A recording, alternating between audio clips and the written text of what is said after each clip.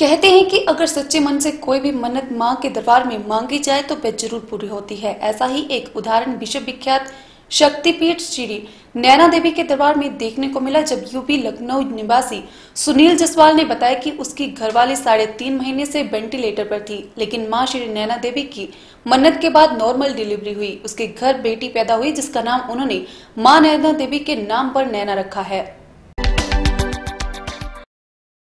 कहते हैं कि अगर सच्चे मन से कोई भी मन्नत मांग के दरबार में मांगी जाए तो वह ज़रूर पूरी होती है। ऐसा ही एक उदाहरण विश्व विख्यात शक्तिपीठ श्री नैना देवी के दरबार में देखने को मिला, जब यूपी लखनऊ निवासी सुनील जसवाल ने बताया कि उसकी घरवाली साढ़े तीन महीने से वेंटिलेटर पर थी, लेकिन माँ नैना देवी की मन्नत के बाद नॉर्मल डिलीवरी हुई। उसके घर बेटी पैदा हुई है, जिसका नाम उन्होंने माँ नैना देवी के नाम पर नैना रखा है। उसकी बेटी नैना की मनोती लेकर उनका पूरा परिवार लखनऊ में माँ नैना देवी के दरबार में नतमस्तक होने के लिए पहुँचा है। सुनील जसवाल जब माँ के दरबार में पहुँचा तो माँ के दर्शन और पूजा अर्चना के बाद पुजारी को अपनी आप सुनाई। सुनील जसवाल ने बताया कि वे पूरे परिवार सहित माता के दरबार में अपनी बेटी नैना की मनोती लेकर आया है, क्योंकि उसकी घरवाली बहुत बीमार थी और साढ़े तीन महीने तक वे वेंटिलेटर पर ही रही। पूरा परिवार दुखी था, लेकिन उसने माता नैना देवी से मनोती मांगी कि अगर माँ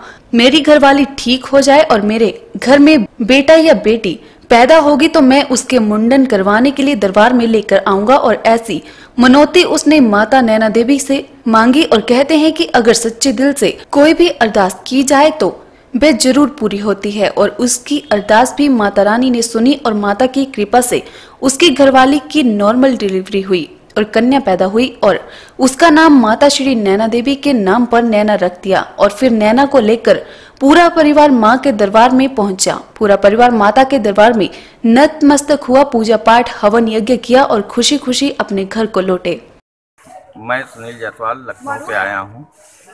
और मैं, मैंने माता रानी के चरणों में प्रार्थना किया था कि मुझे बेटा या बेटी देंगे तो यहाँ आकर के मुंडन बाल कटवाने आएँगे। तो मेरी वाइफ की तबीयत ज़्यादा ख़राब थी, जो साढ़े तीन महीना वेंटिलेटर पर थी और मेरे डेढ़ साल पेट भी खुला रहा बाईपास सर्जरी हुई। उसके बाद माता रानी ने मेरी मुराद पूरी की और मुझे एक बेटी दिया, जिसका नाम मैंने नैना रखा और नॉर्मल डिलीवरी हुई। माता रानी के चरणों में कोटि कोटि नमन। मेरी बेटी नैना है, जो माता रानी की कृपा से हुई है और नॉर्मल डिलीवरी हुई है, जो कि अब नामुमकिन था और माता रानी के चरणों में हमने प्रार्थना किया था, जो मेरी मन्नत पूरी हुई। माँ भगवती, इसी तरह सबकी मन्नत पूरी करें और मुझे जल्दी जल्दी अपने श्री चरणों के दर्शन दें। जय माता